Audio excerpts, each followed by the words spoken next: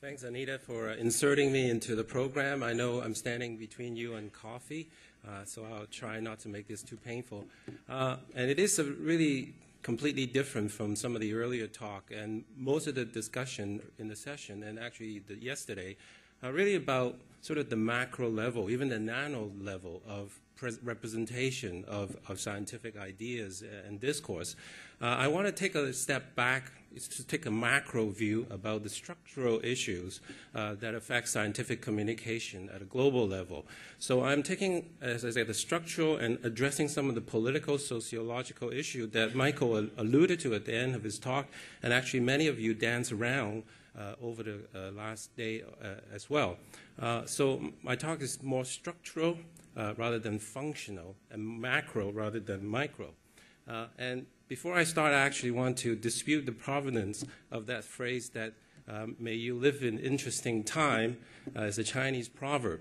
It's probably invented by the guy who invented fortune cookie, but was never given the credit. Uh, we can do some text mining to, to find that out. Um,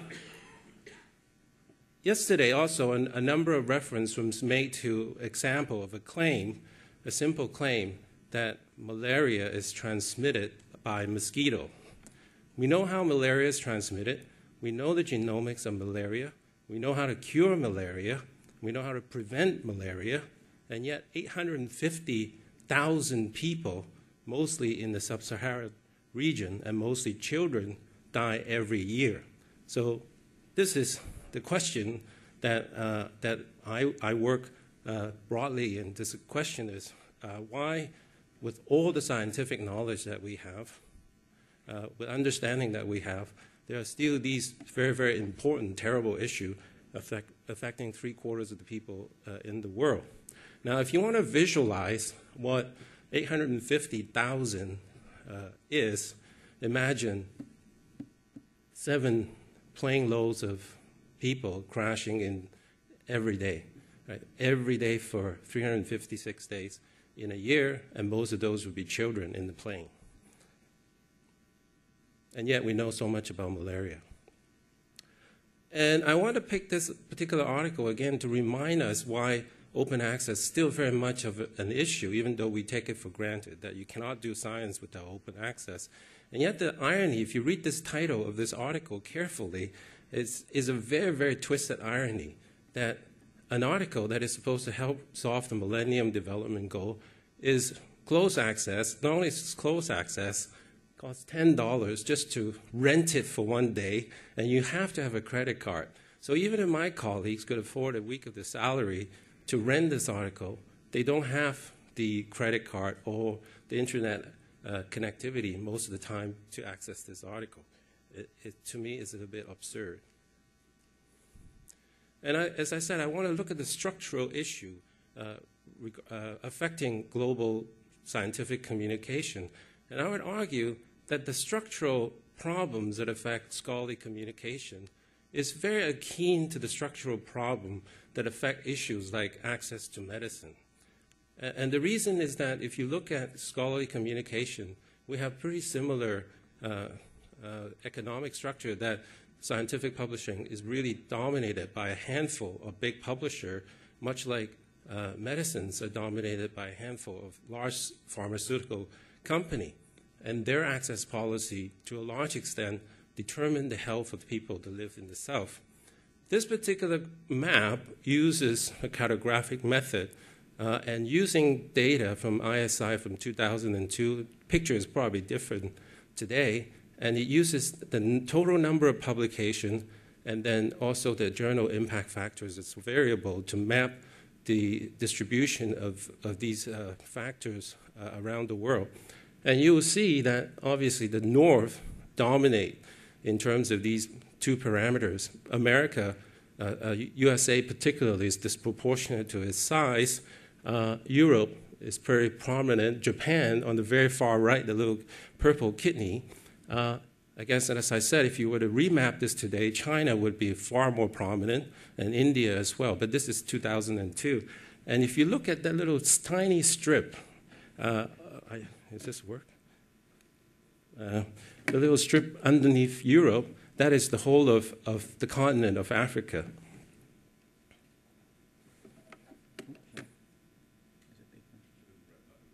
I can't find it. On this one, use that one. Ah, okay. Right. This is the entire continent of Africa in terms of uh, ISI and impact factor. And if it's not for the fact that South Africa put out uh, uh, about 0.1% of articles from around the world, you wouldn't even see the whole continent at all.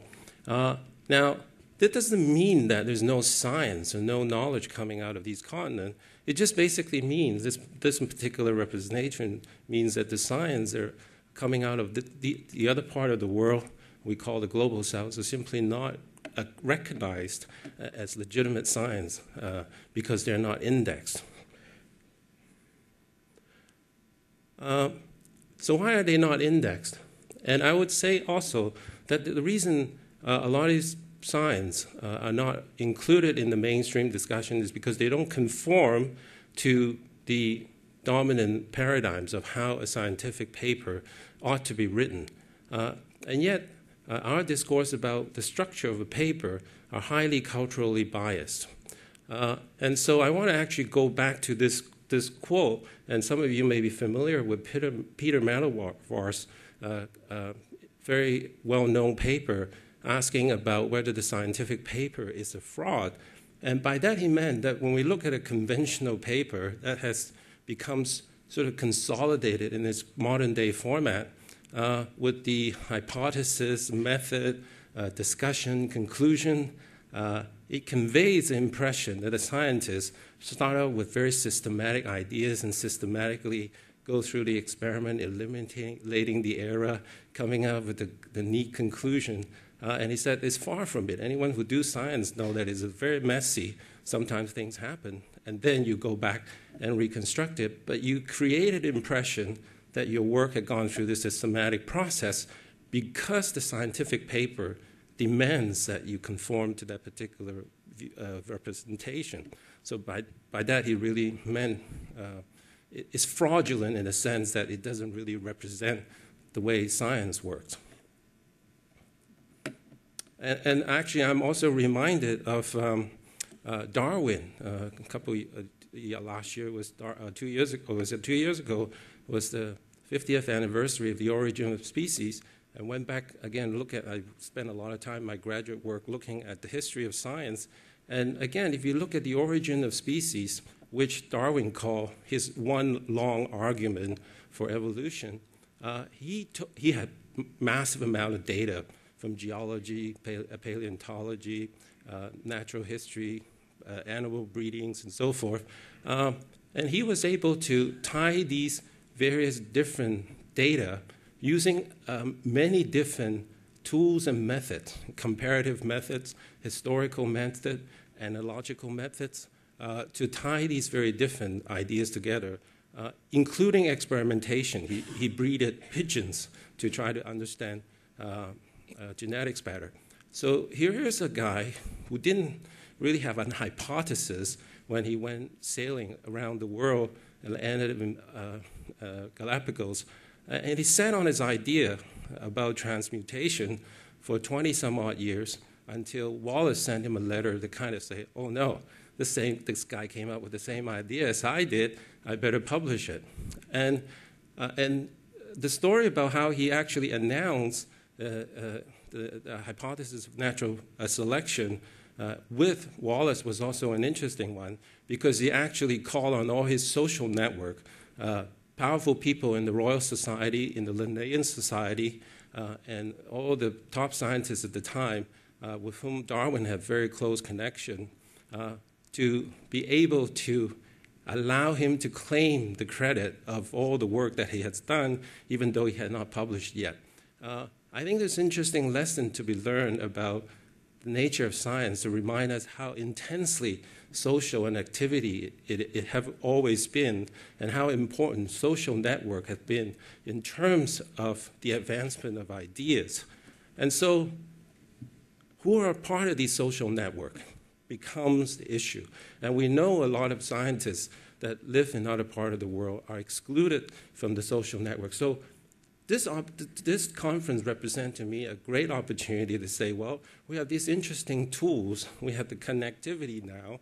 How can we broaden our model to include many, many of our colleagues and students from around the world who could participate and bring their ideas and their way of looking at the world that may not fit our logical deductive model of reasoning, but how do we expand uh, to include them?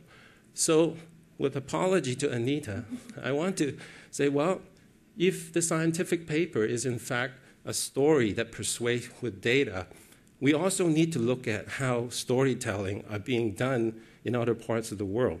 And I would say, I would argue that there are many, many ways of telling stories.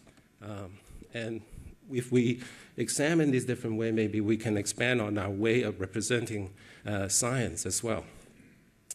Uh, I just by chance was looking at uh, some of the reports that were sent out by Thomson Reuters, and I would encourage you to look at some of their annual report, and they tell interesting story, and their story is about national innovation policy. That in order to compete nationally, you have to provide uh, this kind of uh, particular narrative about competition, high impacts, and so forth. And yet, at the same time, we're looking at things like uh, the network science and so forth. Do I have one, two minutes? Yeah, okay. So, I, I, so we've been looking at open access to help us address a number of questions since the early 90s. Uh, and we were doing open access without knowing that was called open access because we're working with colleagues who do publish journal, uh, and we provided a platform uh, to allow them to distribute uh, their scientific journals uh, uh, through the internet. So we wanted to see if, if through that process we can begin to address these questions and to change uh, uh, paradigms of thinking that somehow everything that comes from the north and the center is far more useful to the south to a more peer-to-peer peer model, the south-south collaborative models uh, that, uh, that are, I think, are far more important for science globally. So this is our website. You can go take a look. And these are the journal partners that we have. And, we've been, uh, and I don't have the most updated statistic, didn't have a chance to download them. Uh, but we have in 2009 four and a half uh, full text downloads uh, from people from all over the, the world. So the question that we are very interested in too is who are all these people downloading these articles and what are they doing with them? Are they citing them? Are they using them in school? And so on and so forth. Uh, I want to tell one last story about a colleague of mine. And if you go to uh, Google and, and uh, Google Vimeo and my name, you'll find a video interview that I've done with, with Mary, who's a food scientist, agricultural scientist, who's been studying uh, native African uh, vegetables for the last uh, 15 years or so. And she's been trying to reintroduce native vegetables that she grew up with but now are, high, are largely displayed by uh, Western vegetables, carrots, uh, uh, cabbages, uh, broccoli, and so forth. Uh, but they, these vegetables don't grow very well in Kenya.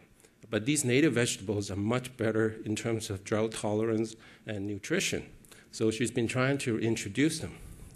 And what was interesting and problematic was when she first tried to publish a paper in a Western journal, the reviewer, one of the reviewer wrote back and said, well, you're studying weeds. Uh, our journal only published studies on uh, plant, uh, and, uh, edible plants.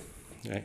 So again, this to me is an example of the kind of stories that are biased by a certain most of uh, uh, cultural thinking.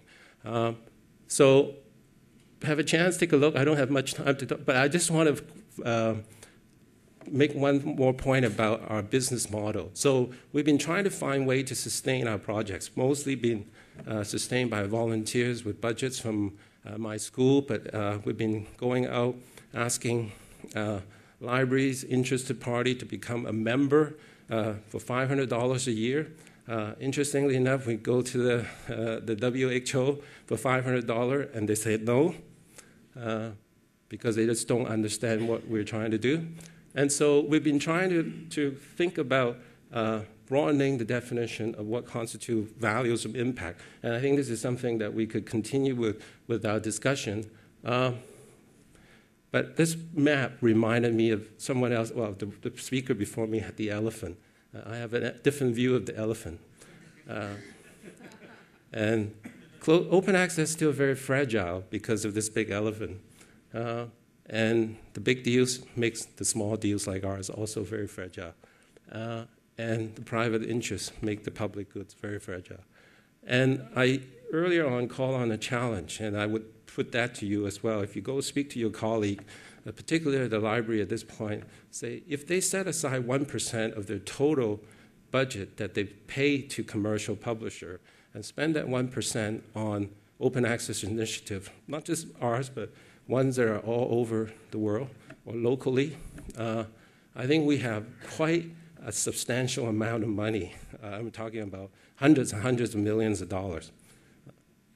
Uh, so at the same time, we need to think about governance. I think the manifesto idea, uh, something that we could come back to. But there are some reference in terms of global governance we can look to. Thank you. Thank you.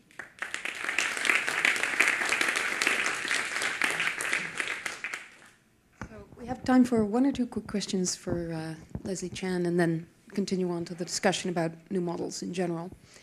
Um, if there are any concrete questions? David? No? All right, Gali. Yeah. So uh, this is this is kind of a um, so I, I, saw a TED talk um, a while ago by uh, a physicist I can't remember his name um, who described um, a project called the next the next Einstein and um, it, basically his premise was he, he started a school in Africa um, that recruits from the, the best and the best students he can find. And his goal is, his high level goal is, to, is that the next Einstein, the next genius um, who's going to make a difference in physics, um, needs to be from Africa and to be an African native. Um, and I was, I was struck by the kind of just, it, it was a terrific talk and he really gave a good presentation. Um, and it's a very worthy goal and something that I think I'd like to contribute to at some point, but I've no idea how. So, in the same sense that you're kind of tapping into the same kind of idea, um, I mean, how can we as scientists contribute to your goal and your vision and your approach? So this is again where I think some kind of uh, global umbrella group, uh, group may be may be useful. So it can act both as an advocacy, but also act as a, a, a conduit for directing people to different kind of project that they wish to support, uh, so they could serve multiple functions. That's one thought. Uh, but going back to your example of TED Talk, there, there, if you again, the, the ingenuity of many scientists in the developing world in terms of using very low resource equipment and, and remixing things and come up with a solution.